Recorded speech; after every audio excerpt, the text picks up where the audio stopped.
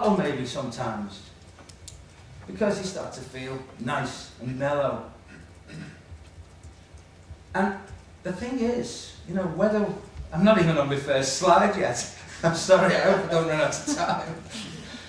But the thing is that harm reduction is basically a very simple, it's a band aid on, on the situation. It's not going to solve all the problems of the world, but it's going to stop some harms. It's going to stop some harms to the individual, to the family, to the friends, to society at large. It's going to stop some of these harms. We actually know how, for example, we know how to stop HIV amongst injecting drug users. We know how to do it. Now, my question, I'll come to this later, is why isn't Sweden doing this properly? I've had a couple of conversations this morning actually that have shocked me. And the situation is even worse than I thought it was. And, and for me, this is also a shock because for me, Sweden, I'm from the generation that if I'd been an American, I'd have had to go and fight in Vietnam. And Sweden is the place that gave a refuge to people who didn't want to fight, quite rightly in my opinion, in Vietnam. Sweden, for me, is a country which is like a paragon of preservation of people's human rights. So it's a real kind of paradox, this to me. But we'll come back to that. Oh, so. Just go back, go to Liverpool now. I'm actually, not in need. I am, actually, I was born in Liverpool. My uh, parents were in Liverpool, but my dad was Irish, so I'm Irish, and I lived in Ireland for a very short time. Then I lived the, most of the rest of, the, of the early years of my life in Liverpool. Liverpool appointed the first chief medical officer of health. So Liverpool actually has a really, really long and deep history of public health innovation. I'm not going to read all, you can look at these while they're up. I'm not going to go through all this, every slide. I've got far too many slides, but there you go. And then in the mid, late 70s, mid 80s, Liverpool was the home of the new public health, which was, it took all the old public health and it added on to that social aspects.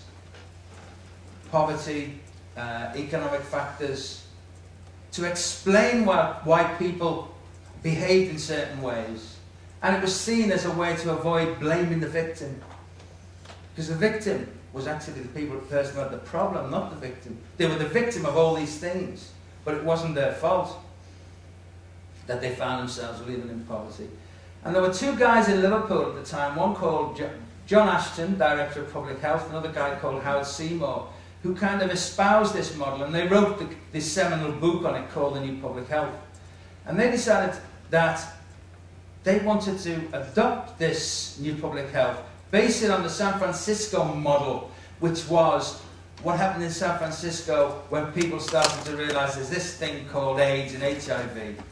And it's involving the community, creating an organization to lead, because leadership's important, looking at the risk groups, finding out what they, what would make them do things that they needed to do? What would make them change aspects of their behavior?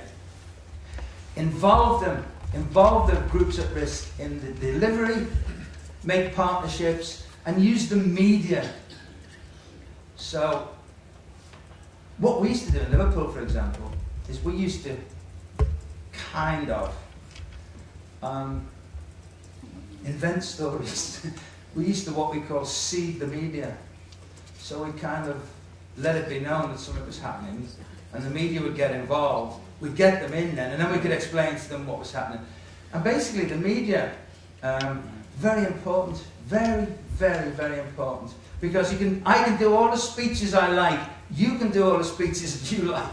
One front page in one national paper, critical, criti of criticism or some sensational, silly story about drugs can really make a mess of everything you do. So the media is very important.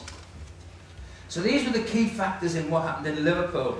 And you know, I know the Pharaoh didn't build the pyramids. I know that uh, King William didn't conquer England on his own.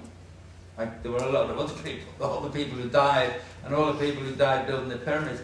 But sometimes the, the fact that there's certain people there at the same time, at the right time, is very important. And I believe without these three people here, I'm going to use the pointer now. That, John Marks, and Alan Parry, without those people, wouldn't have happened. I'm not going to go into detail about who they were, but they were, they were involved at different levels. This was what it was all about in the UK in the mid 80s. This one was interesting. This, this became, this was supposed to scare people off using heroin. And this became all the teenage girls pin up, to have this in their bedroom because they just thought he was gorgeous, this guy. And he was supposed to be someone who was totally messed up, all these horrible spots and things on heroin. And this was just one of the worst. one of the things that, that I learned, I hope I didn't have to learn Don't tell lies to anyone about these things, you know. Because heroin can screw you up, but not necessarily does screw you up. It's not absolutely inevitable. There are plenty of people I know use heroin, and you would never know. You would never, ever know lawyers, doctors, all sorts of people. So there's a very famous poem, so famous that I don't even know what it's called, by Yevtushenko. And he's talking about children. And he says, telling lies to children is wrong. Telling children that all is well with the world and God is in his heaven is wrong. And I firmly believe that. I firmly believe that. If you tell people lies about these things, they, they won't believe you when you tell them the truth. You lose credibility. Key factor was this publication. The Advisory Council on the Misuse of Drugs was an organisation that used to look, it was a government organisation of experts. and what they said was a very crucial thing. They said AIDS and the risk of an AIDS epidemic is a far greater threat to society than the use of drugs. Very important, very important. And that gave a kind of license for harm reduction. Excuse me, I just have to get some water. For harm reduction.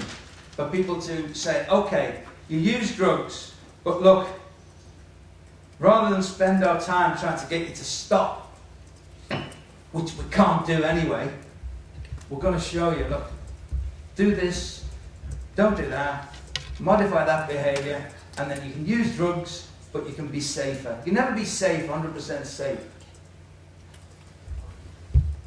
So, the people, I was, actually, I became the director of this a bit later, but I was working with another organisation which worked with the people here, who basically one day said, look, there is a problem of the possibility of the transmission of HIV through sharing of needles. What are we going to do about it? Someone said, why don't we give them clean needles? And that's what they did.